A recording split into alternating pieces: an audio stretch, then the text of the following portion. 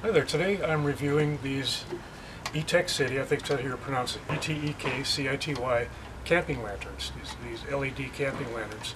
Um, we do camp a lot, and uh, I have an eBay store, and I put a shed out in the backyard because it got too big, and uh, there's no electricity to it, and I have to go out there at night sometimes, so we wanted a, um, something to fulfill both needs. And we found these sixteen ninety nine on Amazon, and uh, normally I would do an unboxing video, but I've been using these. I used them right away. Um, they're made with uh, military grade plastic, as you can. Um, that didn't even can't even see a mark anywhere. Um, you just pull these straight up, and it's on. 30, there's 30 LED bulbs in there for a good 360 degree lighting. Um, and they're supposed to last 12 hours. They can stay on for 12 hours. Um, they're relatively lightweight, uh, 10.7 ounces. Handles fold down, nice and compact.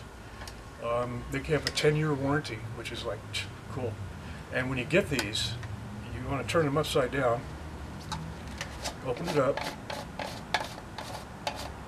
Batteries are included and there'll be a little plastic tab in one of the corners, and you pull that out, and that activates the battery. And then,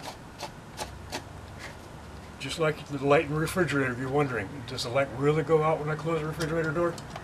Well, you almost have to close your nose in the refrigerator door to get it, but this pulls out a little bit, and you can see it's not on, and then boop, comes on. And I've had these in the shed, and they're great. They really are. I mean, they really put out like the 360. Just set them somewhere.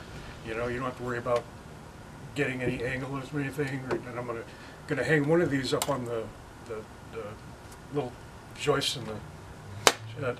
Just push that. That is like really cool. Um, and if you're hiking, you're concerned about weight. These are 10.7 ounces. So I think they're well worth it. And there's going to be a little link underneath the video there if you'd like to order one off Amazon. I'll bring you right to it. Okay, thank you.